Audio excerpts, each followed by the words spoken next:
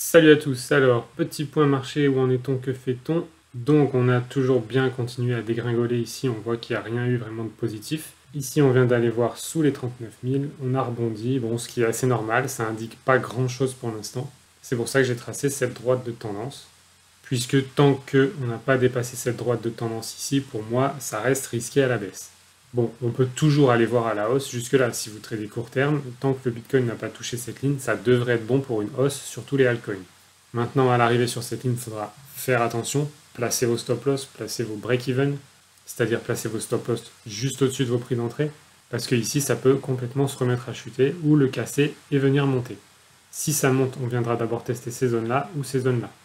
Ici, on voit à quel point on, on est venu vraiment précisément sur cette zone, qui est donc un order block, on est venu rebondir dessus. Donc ici, c'était un très bon point d'entrée pour aller voir un TP par exemple ici, take profit par là. Je parle beaucoup en termes de Bitcoin parce que les altcoins en ce moment font exactement comme le Bitcoin.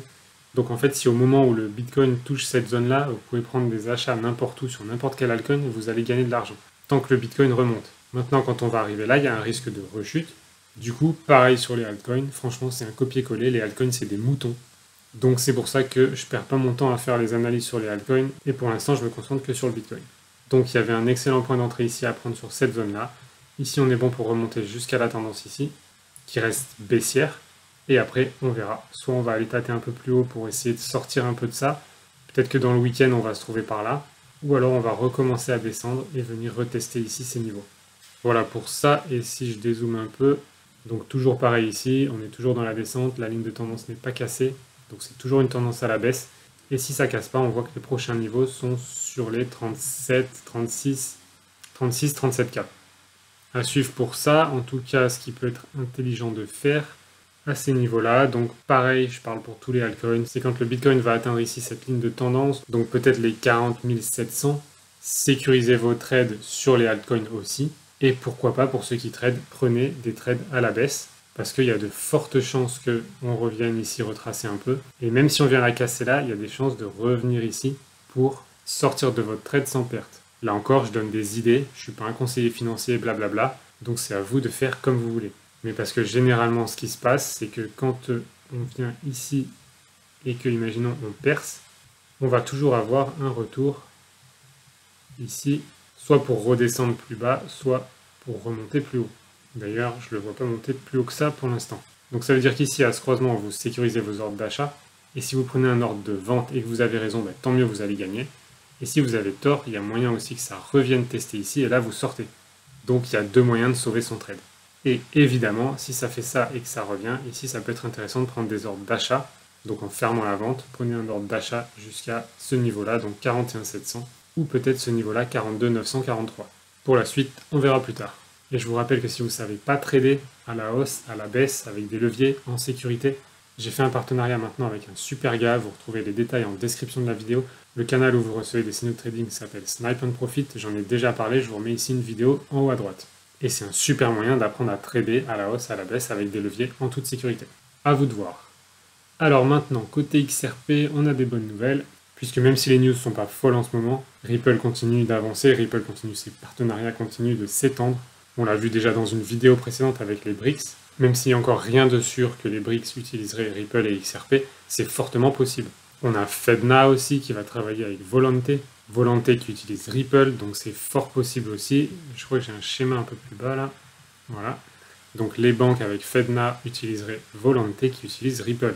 Ce qui fait que maintenant les banques, au lieu d'échanger directement avec du dollar ou autres devises qui coûtent cher, qui sont lentes et qui sont maintenant dépassés, les banques passeront directement par Volonté, qui passera par Ripple et XRP pour la connexion, pour avoir des échanges rapides, que ce soit internationaux ou nationaux, pour avoir des échanges rapides, efficaces et pas chers. Donc pour aller d'une banque A à une banque B via tout paiement XRP. Donc ça c'est pas nouveau, mais plus les banques américaines qui commencent à embarquer sur XRP avec XRP et Ripple. Et je pense que c'est effectivement ce qui se passe en arrière-plan en ce moment. Les banques adoptent Ripple et XRP, même les banques US, elles ont tout intérêt à le faire pour être plus rapides et moins chères. Là où les BRICS, c'est plutôt pour arrêter d'utiliser le dollar américain, l'USD. Les banques américaines, à mon avis, c'est tout simplement pour être plus rapides et moins chères, histoire de pouvoir faire plus de profit sur leurs frais bancaires. Je pense qu'à terme, les banques vont globalement diminuer les frais bancaires sur les virements internationaux, par exemple, mais ça leur permettra aussi d'augmenter leur marge. c'est gagnant-gagnant entre guillemets, puisque grâce à XRP, les banques vont pouvoir augmenter leurs profits et les gens vont pouvoir diminuer leurs frais. Disons que c'est une étape intermédiaire qui est intéressante. Mais comme vous savez, dans tout ce business de la crypto-monnaie, on pourra aussi utiliser nous, XRP, de notre propre côté, ou même d'autres cryptos, sans passer par les banques et sans frais à part les frais de la blockchain. Et c'est là où XRP est super intéressant, encore une fois. Donc ici j'ai un article de Binance, donc je ne vais pas le creuser en profondeur, on l'a déjà vu dans une vidéo précédente. Donc est-ce que les BRICS pourraient utiliser Ripple et XRP C'est fortement possible puisqu'ils cherchent une alternative à l'USD et aussi à Swift. Et je vois pas d'autres acteurs que Ripple et XRP. Plus Ripple et XRP sont mentionnés comme possible partenariat avec les BRICS. Et si le but c'est de ne pas utiliser le dollar et de ne pas utiliser Swift, je vois pas d'autres concurrents. Si vous en voyez un autre que j'ai pas vu, alors mettez-le en commentaire, on se fera un plaisir de l'étudier. Donc le monde de la crypto est un peu mou en ce moment, on est dans un marché qui corrige, mais la vague de fonds reste là et reste puissante. Ripple est un partenaire du World Economic Forum à Davos, il était encore plus présent cette année. Ils sont partout, je vous rappelle qu'ils sont membres de l'ISO 20022, qui lui devrait démarrer en avril. La fin du procès finalement pourrait aussi arriver en avril. Et donc comme dit Brad Garlinghouse, le PDG de Ripple, je pense que 2024 sera une excellente année pour Ripple et XRP.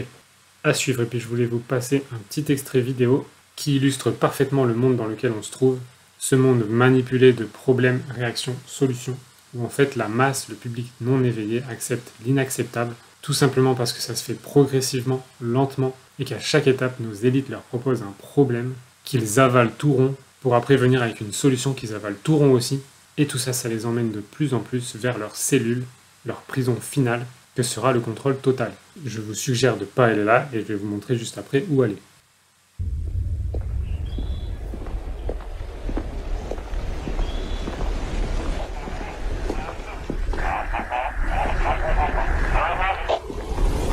Maintenant, je suis réveillée. Avant, j'étais endormie. C'est comme ça que c'est arrivé. Quand ils ont mitraillé le Congrès, on s'est pas réveillé. Quand ils ont rejeté la faute sur des terroristes et suspendu la Constitution, on s'est toujours pas réveillé. Ils disaient que ce serait temporaire. Rien ne change instantanément. Dans une baignoire qui se réchauffe petit à petit, on meurt bouilli avant de s'en rendre compte.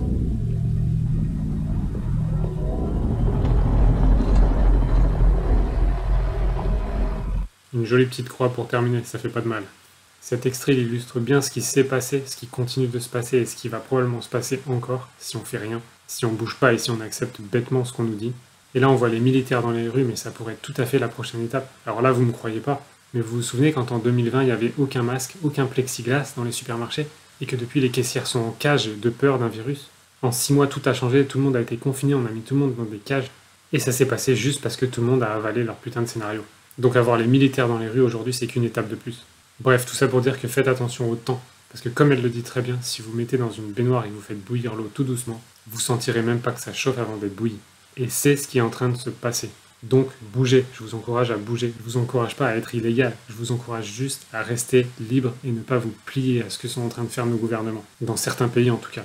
Sur cette page, et je vous mets ici le lien en description de la vidéo, vous avez la fiscalité 2024 des plus-values crypto en Europe.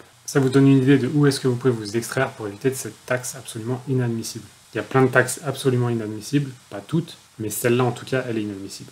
Donc en gros, vous avez ici un tableau récapitulatif que j'aime bien. Donc il y a 6 pays qui ne taxent pas sans condition. 5 en fait sans condition et l'Allemagne avec une condition. Donc Malte, Chypre, Grèce, Slovénie, Estonie, pas de taxes sur les cryptos. En Allemagne, vous avez 0% de taxes si c'est pour moins de 600 euros de plus-value et pour toutes les cryptos que vous détenez depuis plus d'un an. Entre les deux, je ne sais pas combien ils taxent, mais en tout cas, pour tout ce que vous détenez depuis plus d'un an, il n'y a pas de taxe en Allemagne. Et les montants inférieurs, on s'en fout puisque ça sert à rien. Ensuite, vous avez la liste ici des pays qui taxent, plus ou moins en fonction des régions. Et vous avez quelques pays qui restent intéressants, comme le Portugal ou l'Autriche, qui vont taxer donc à 28 et 27%, mais seulement les cryptos détenus depuis moins d'un an. Donc un peu comme l'Allemagne, si vous les détenez depuis plus d'un an, pas de taxe. Voilà, je ne vais pas tout faire dans les détails, en tout cas vous avez le lien, regardez, le tableau est bien fait, et ça vous permet par exemple de choisir une nouvelle destination pour aller profiter de votre thune tranquillement sans qu'on vous la vole. Allez, prenez soin de votre liberté et de votre fric et je vous dis à très vite.